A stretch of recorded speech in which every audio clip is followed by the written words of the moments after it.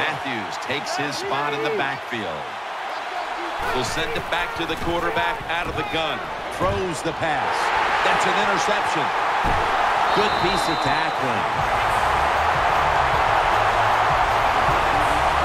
Well, nowadays, your linebackers, they got to be able to do everything. They got to be big enough to get in there and stop the run, and also athletic enough to be able to get in position.